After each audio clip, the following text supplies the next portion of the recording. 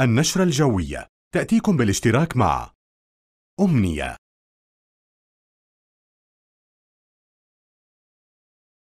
المناصير للزيوت والمحروقات.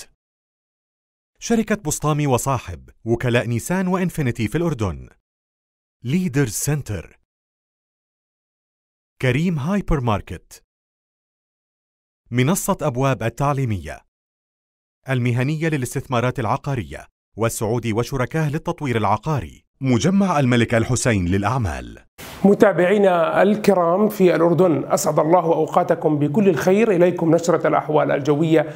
الرئيسية لهذا اليوم والتي نبدأها بآخر صور الأقمار الاصطناعية التي تقريبا تشير إلى خلو سماء المملكة والمنطقة الشرقية للبحر الأبيض المتوسط تقريبا كامل هذه المناطق خالية من تواجد أي سحب وغيوم وإن ظهرت بعض السحب والغيوم المتوسطة والعالية هي من النوع غير الممطر. يتوقع استمرار ذلك خلال اليومين القادمين بسبب عدم تواجد أي سحب وغيوم في المناطق القريبة. من بلاد الشام وشرقي البحر الأبيض المتوسط. توقعات النماذج الجوية لحركة الكتل الهوائية نلاحظ أنه باللون الأخضر هي درجات حرارة المنخفضة والباردة فهذه الخريطة لنهار اليوم السبت. كما نلاحظ سيطرة الأجواء الباردة وشديدة البرودة في أغلب المناطق الشرقية للبحر الأبيض المتوسط بما فيها المملكة. ولكن اعتبارا من يوم غد الأحد يتوقع أن تبدأ هذه الكتلة الهوائية الباردة بالانسحاب التدريجي نحو الشمال مع تدفق تيارات هوائية أكثر اعتدالا أو ذات درجات حرارة.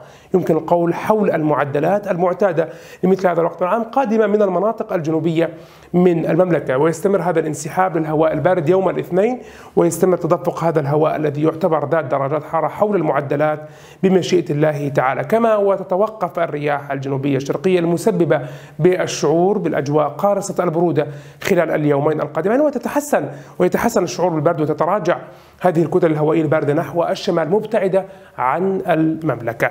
توقعات الأحوال الجوية هذه الليلة. في العاصمة الأردنية تبقى الأجواء هذه الليلة شديدة البرودة فالانسحاب للهواء البارد سيبدأ من غدا. هذه الليلة يكون طقس باردا جدا ودرجة حرارة صغرى ثلاث درجات مئوية. تقترب من الصفر المئوي في العديد من المناطق بشكل يسمح بتشكل الجليد والانجماد. في ساعات الليل المتأخرة والصباح الباكر كما يكون الشعور بالبرودة منخفضا للغاية. تصل درجة الحرارة الملموسة إلى درجة مئوية واحدة. تحت الصفر. بالنسبة لتوقعات الأحوال الجوية خلال الثلاثة أيام القادمة فيتوقع أن يطرأ ارتفاع تدريجي على درجات الحرارة تصبح حول معدلاتها المعتادة. لمثل هذا الوقت من العام فتكون 12 إلى 4 درجات مئوية يوم الأحد 13 إلى 4 درجات مئوية يوم الاثنين وتصل إلى 13 إلى 7 درجات مئوية يوم الثلاثاء مع تحسن في درجات الحرارة. في ساعات الليل وتصبح طبعا تبقى منخفضة لكنها لا تصبح حول الصفر المئوي.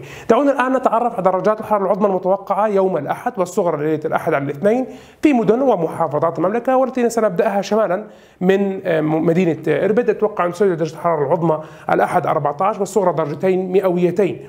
جرش 12 إلى 5 عجلون 12 إلى 4 وفي المفرق من 13 إلى درجتين مئويتين.